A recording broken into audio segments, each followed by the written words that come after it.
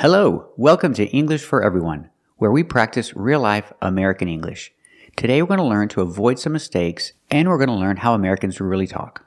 First, this is not correct. And another thing that you might have noticed when we say what do, so we have T at the end of the word what, and we have D at the beginning of the word do, we kind of invent a new sound here. Instead of saying what do you do, we say what you do. So there is a sound ch, which uh, appears in the middle. Again, this is a way to make your speech smoother. And this is what all native speakers do. For example, what you do for a living. What you do for a living. What you do?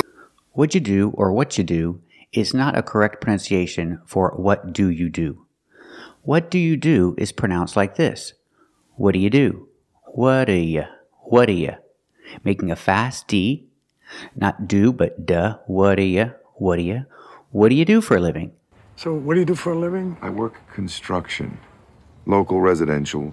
So, uh, what do you do for a living? I'm a writer. Let's talk about the question. What do you do? If someone says, So, what do you do?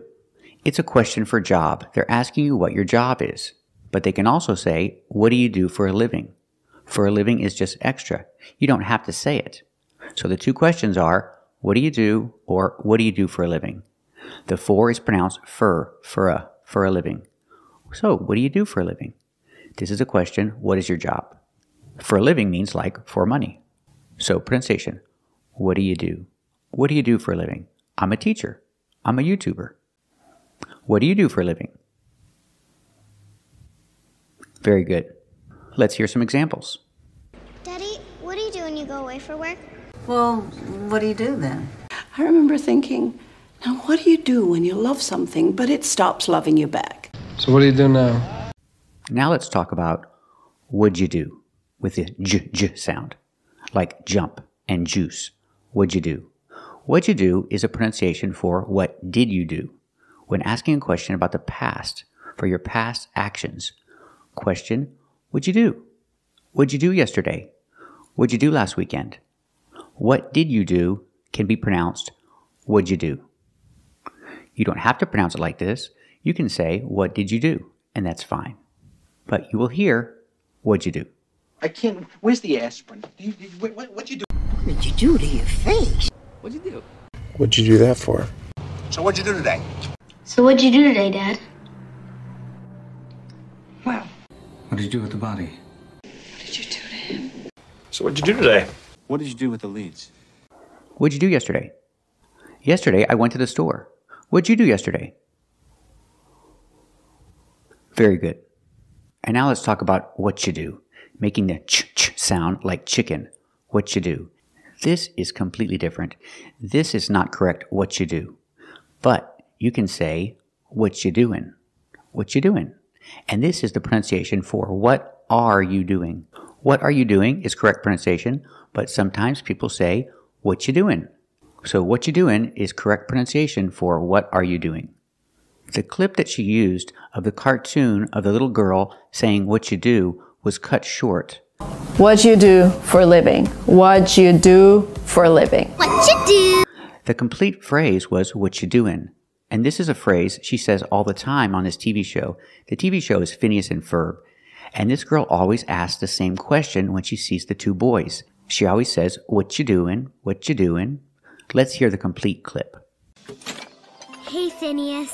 Hey, Isabella. What you doing? Building a roller coaster. In your backyard? Some of it. Wow. Hey, Phineas. Oh, hey, Isabella. What you doing? Building a beach. Check it out. Oh, hi, Isabella. What you doing? We're entering the Swamp Oil 500 today. Hi, Phineas. What you doing? It's a surprise. Can I help? We could use a lookout. You got it. Hey, Phineas. What you doing? Ferb and I are working on designs for our new clothing line. Take a look at what we've got so far. Very impressive. So never say what you do. It's what you doing. It's what are you doing? Reduced what you doing. Hi, Tracy. What you doing? What you doing in here? What you doing? Paul has an interview. I'm just tagging along. Hey, baby, I was about to hang up. What you doing? So today I'm cleaning my house. What about you? What you doing today? Very good. Another use of whatcha is what you been doing. What you been doing is a reduction of what have you been doing? What have you been doing? You can reduce it to what have, what have, what have you been doing? It's a question from the past to the present, a question for your action. It's a question from the past to the present. What have you been doing? What have you been doing? Or some people say, what you been doing? What you, with the ch sound like chicken? What you been doing? What you been doing? What you been doing this morning?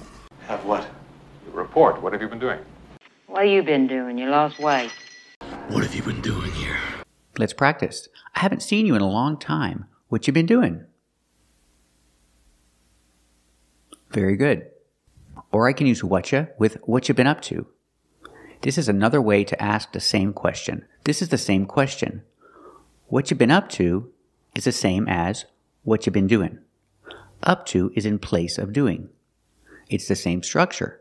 What have you been up to? Reduced, what have you been up to? It's a question for your actions. The same as what have you been doing? And you can reduce it more. You can say, what have you been up to or what you been up to? People say both. What have you been up to? Nothing. What have you been up to lately? What have you been up to lately? What have you been up to? So what have you been up to lately, Charlie? What have you been up to? What you been up to? My own business. They're both correct. Pronunciation. What you, what you been up to? Let's practice. I haven't seen you in a long time. What you been up to? Very good. So remember, question for job, what do you do? Or what do you do for a living? Never what you, never what you. It's what do you? What do you do? What'd you do is good for a question about past. What did you do or what'd you do? What'd you do yesterday? And whatcha is always used with a continuous action, with ing. In the present, what you doing? What are you doing right now? Or in the future, what you doing tomorrow? Or talking about continuous action from the past to the present, with questions like, what you been doing? Or what you been up to? Thanks for watching. And if you like this video, subscribe to our channel. And if you want to become a member, click the join button. And we'll see you next time.